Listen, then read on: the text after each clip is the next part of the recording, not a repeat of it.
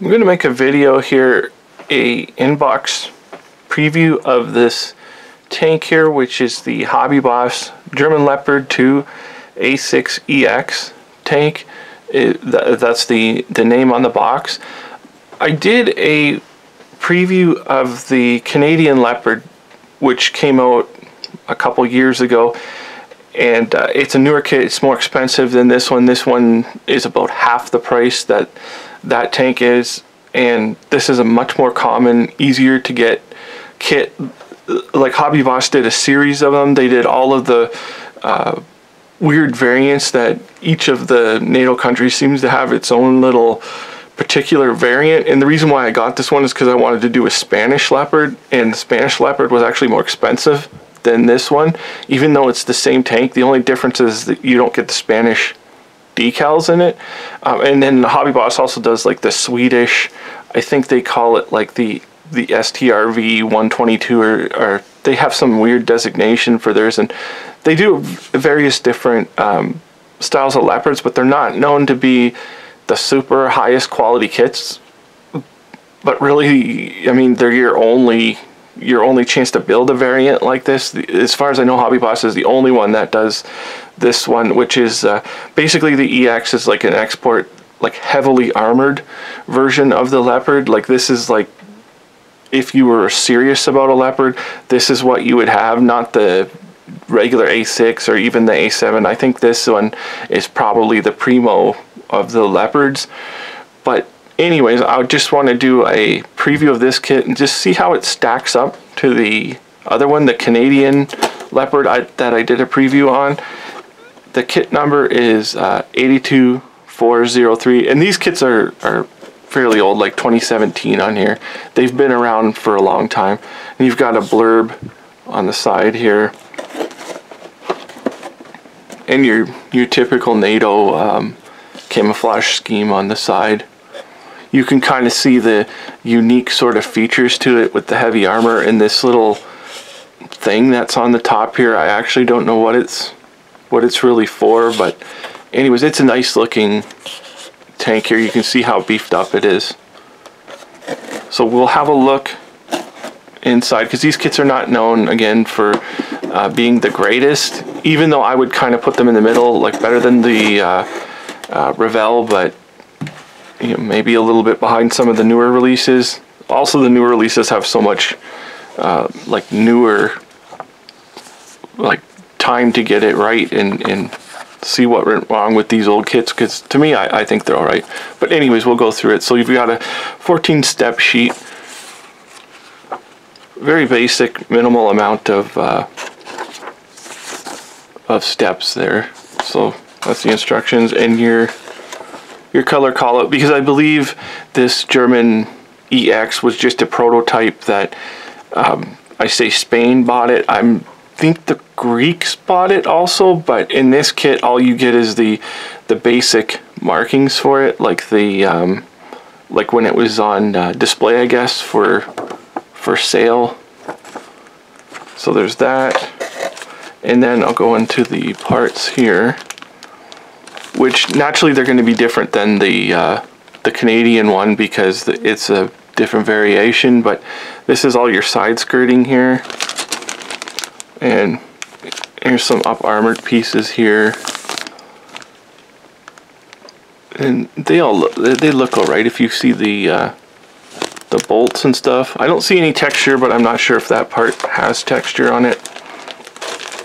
Oh you get at least you got a couple options for barrels. The A5 and the A6 barrel uh, two piece which I'm not a fan of. Um, I'm not seeing any texture on any of these armored pieces. Um, let me see the detail here. It does have uh, if it'll show up. It does have good detail here the transition between the extended barrel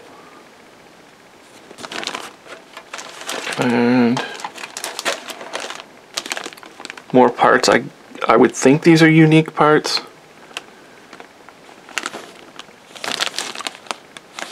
So they are what they are.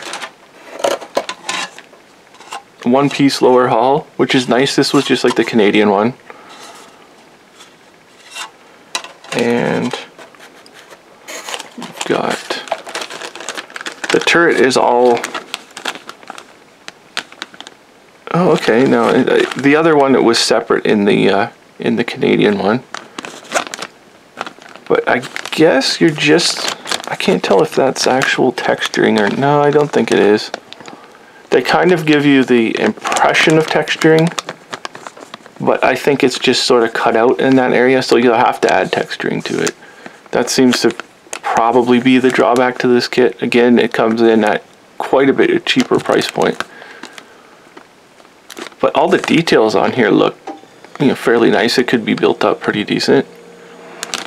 So it's a turret, the running gear. I mean, they're all right. You're on these tanks. You, you're, you're never going to see the running gear really. They're. I mean, I guess you could take the skirting off, but um, it's not common. Yeah, the same thing. These look almost exactly the same as the ones in the Canadian version.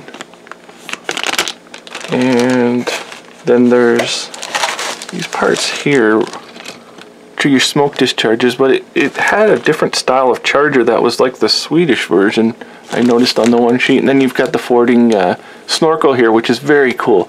I like that they include this. That's a very unique feature that you don't often see. It's nice they put that in there.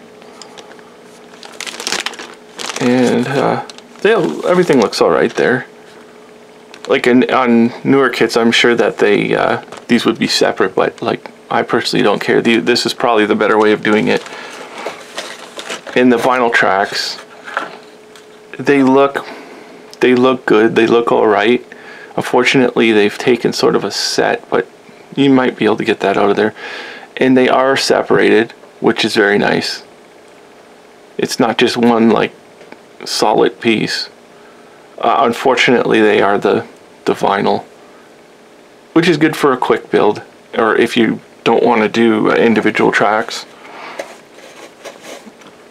And actual glass pieces here that you have to cut out. That's kind of different. And your decal sheet here. Oh yes, and I don't, well, this is a very crappy cotton for your uh, this isn't exactly the, the cotton rope I was talking about when I uh, was criticizing the other cope, uh, the other rope, but the brass rope that they give you in the Canadian Leopard is much nicer than whatever this is. It looks like yarn. It's it's so frilly. So uh, don't I wouldn't if I was uh, talking to Hobby Boss. Don't take my advice on using cotton rope. Use just stick with your uh, brass rope. And this is pretty decent. Your typical sheet, not too much. Should be easy to work with. Um, I've got one piece here. I don't know if I'm going to be able to get it out of there. I think it's, it might be stapled in actually.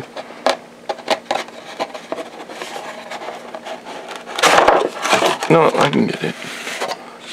They got super protection. They do this, I don't know why, it's a common thing to do in leopard kits. They overdo the protection for them. But here we go. You can see the engine pieces. I guess there is a slight, in fact, I don't know if it'll show up on camera, but there is a slight, slight texture, but it almost doesn't exist. So I think if you put paint on that, it would disappear. It's almost nothing. It was better on the uh, Canadian Leopard. You can, I don't know if it'll show up if I can rotate it. Oh, it might, right there, it might you might be able to see the texture. It's almost non-existent. But, I mean, at least they did made an effort to do it and it's not just slick. So, anyways, that's the, uh, the piece there. So, it looks like a good kit. I mean, it... I, uh, um, if you're looking for this variant, I wouldn't be afraid to build this one. It's not like a, uh, an older Tamiya kit where it's supposed to be motorized or anything like that. It looks like a nice kit. Um, this is the, um, I'll get the instruction sheet here. This one is the German Leopard 2 A6EX, which is actually the same as the Spanish leopard. I'm not sure what it's called. And I also believe the Greeks use this exact variant.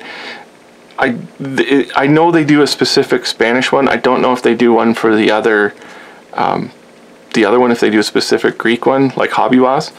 So anyways, if you're looking for this variant, I would not be afraid to get this kit. There's nothing bad about it other than perhaps the tracks. And I mean, it's very easy to get a hold of aftermarket Leopard uh, tracks. That might be the only upgrade I'd make to it, but it looks like it can be built into a nice kit. There's nothing wrong with it. I would stack it up against the Canadian one. The Canadian one, the texture might be better on it, but anyways, uh, this is a highly, highly recommended kit for what it is. It's the uh, German Leopard 2 A6EX from Hobby Boss Models.